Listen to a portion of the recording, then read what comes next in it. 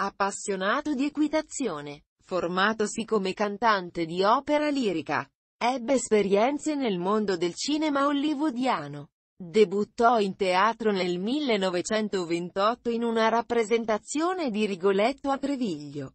Cantò poi l'anno successivo nei Puritani. A Milano, la sua attività di cantante lirico si sviluppò, in Italia, in soli tre teatri, nella stagione 1927-1928, per il pubblico della sua città natale, Verona. Cantò solo in fine di carriera.